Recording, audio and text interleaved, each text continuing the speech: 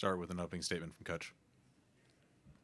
Uh, congratulations to William and Mary for a well played game, and uh, congratulations to uh, their moving on to the next round.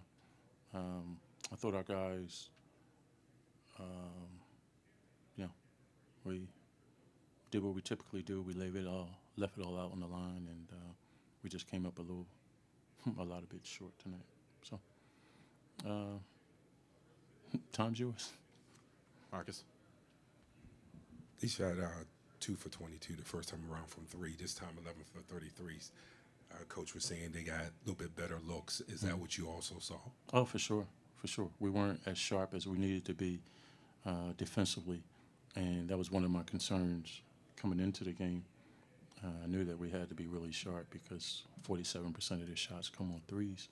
Um, we weren't as sharp as we needed to be.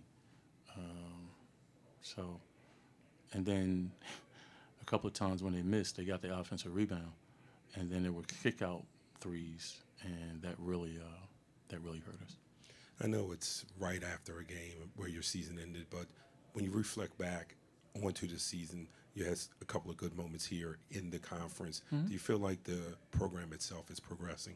Oh no, for sure. Uh, for us to be our first year, and uh, we'll have an opportunity to really recruit now and uh, bring some guys in. But you know, reflecting on the season and the like you said, the immediacy of a loss.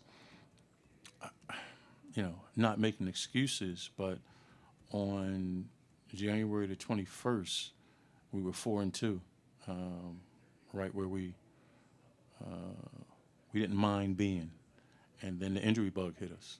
And our program is not to the point right now in one year where we can overcome losing our leading scorer.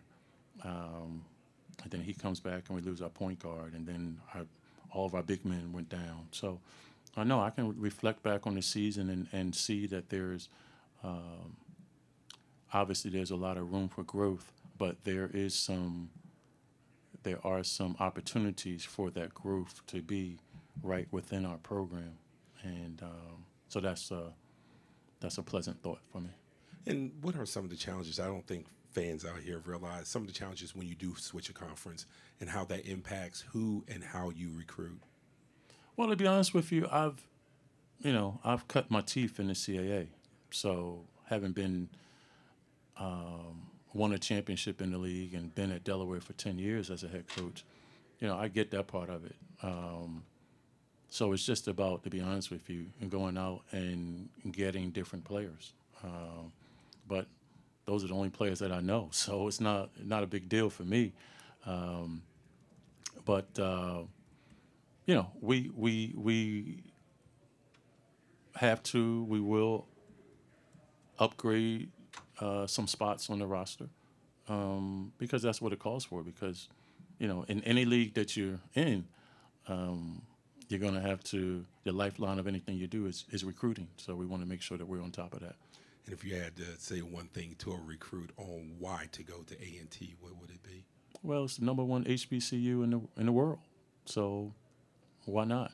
Uh, you get all the advantages of uh, being in a fine academic institution. And also you know we're in a tremendous tremendous basketball conference. So you know when you couple those things together it's uh, it's a place where i think we'll be able to get some guys here. All right? Thanks, Coach. thanks guys